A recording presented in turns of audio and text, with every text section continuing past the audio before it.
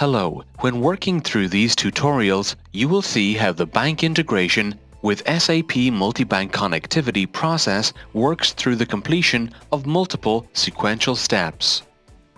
With SAP Multibank Connectivity, or MBC, SAP establishes connections with your banks to automatically send payment instructions, receive status notifications, receive bank statements, and receive lockbox messages.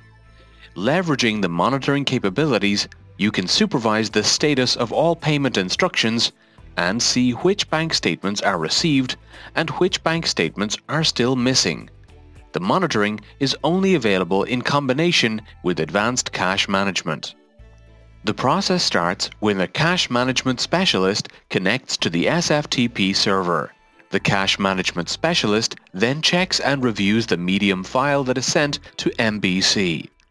A payment status XML file is created and uploaded to the SFTP server.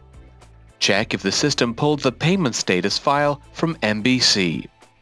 The business benefits of this process are to connect to banks via direct bank connections, SWIFT or EBICS in a secure way, end-to-end encryption embedded route payment instructions automatically to financial institutions or banks. Receive bank statements automatically from financial institutions or banks. Update payment status, only available in conjunction with advanced cash management. Receive lockbox messages automatically from financial institutions or banks. Get SAP Managed Service with no custom integration. Does not require middleware.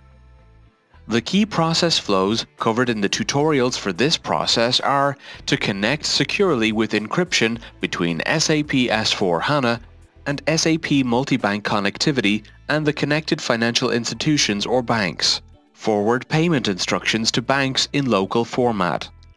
Receive status notification for payment instructions and receive bank statements in standard formats such as MT940 CAMT.053 and BAI to receive lockbox messages BAI2. You can explore the tutorials at your own pace to learn more about each step.